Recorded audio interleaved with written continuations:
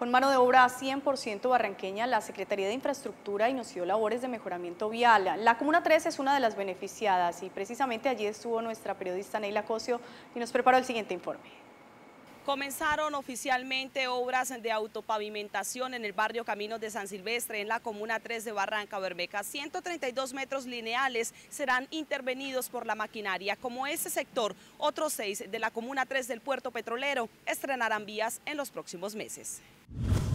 La Comuna 3 eh, se van a intervenir casi 4.2 kilómetros. Eh, pero no es la comuna más grande, la comuna más grande va a ser la comuna 7.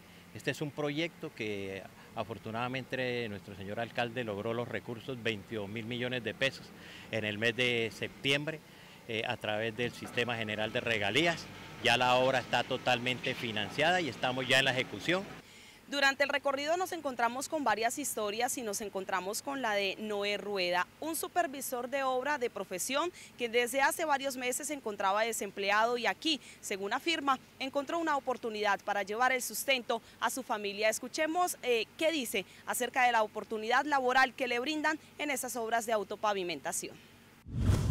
Eh, pues el inicio de estos trabajos representa pues eh, mayor ingreso, o sea, mayor ingreso, no, un ingreso para pues tener una mejor vida, tanto pues uno como la familia y las, las personas que logran trabajar e intervenir este contrato.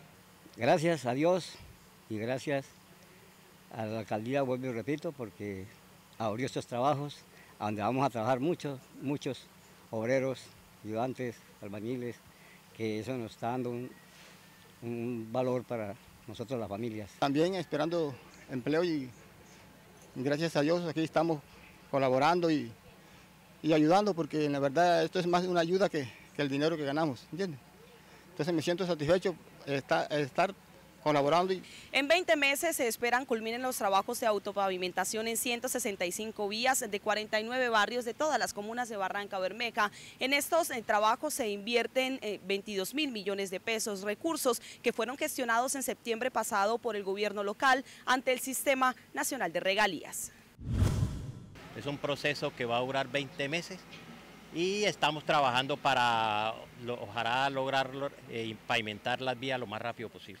Barrios como El Belén, El Internacional, San Judas Tadeo, Cristo Rey, La Paz y Caminos de San Silvestre, por supuesto, desde donde generamos hoy esta información, llegará la maquinaria como esta que se encuentra al fondo para intervenir y garantizar vías dignas a Barranca Bermeja. Este es un informe de Neila Cosio para Enlace Noticias con la cámara de Luis Ángel Flores Uribe.